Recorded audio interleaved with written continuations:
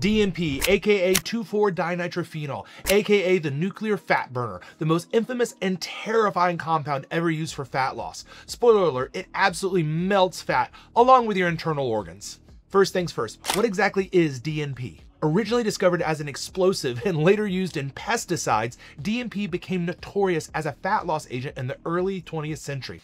Mechanism? Brutally simple. It literally uncouples oxidative phosphorylation in your mitochondria. Translation? It ramps up your metabolism to such extreme levels that you burn fat and calories like never before. Sounds incredible, right? Hold on a minute. Here's the catch, and it's a big one. DNP doesn't have a regulated dosing protocol or a safe therapeutic window. It's extremely easy to overdose, and the consequences can be deadly. Side effects include hyperthermia, which is dangerously elevated body temperature, excessive sweating, dehydration, rapid heart rate, organ damage, and in many cases, death.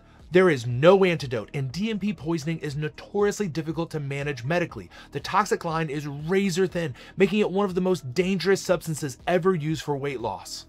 The medical literature is absolutely full of people who have died from DNP usage, or in the case of our editor extraordinaire, Raunak, almost die. It's a great story. He ended up melting a hole in a snowbank. I'll let him tell you sometime. Bottom line, DNP is wildly effective at burning fat, and it's just as wildly dangerous. It's banned for a good reason, and there is simply no safe way to use it. That's DNP. Extreme fat loss, extreme risk. Proceed with extreme caution. Or better yet, with this one, maybe not at all.